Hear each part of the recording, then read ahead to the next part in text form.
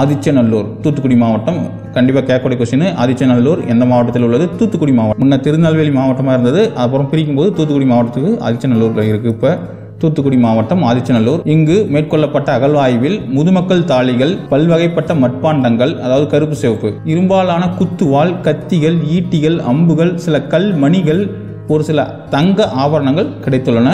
ஆதிச்சநல்லூரில் மேற்கொள்ளப்பட்ட அகலாய்வில் முதுமக்கள் தாலி கிடைச்சிருக்கு. பல்வகைப்பட்ட மட்பாண்டம் கருப்பு சிவப்பு வண்ணம் குத்துவால் கத்தி ஈட்டி அம்பு சில கல்மணிகள் தங்க ஆபரணங்களும் சிலது கிடைத்துள்ளன. வீட்டு விலங்குகள் மற்றும் காட்டு விலங்குகளான புலி யானை மான் போன்றவற்றின் வெண்கலத்தாலான உருவங்கள் கிடைத்துள்ளன. வீட்டு விலங்குகள் காட்டு விலங்குகள் புலி யானை மான் இவற்றினுடைய வெண்கலத்தாலான உருவங்களும் கிடைச்சிருக்குது. வெண்கலம் முக்கியம்.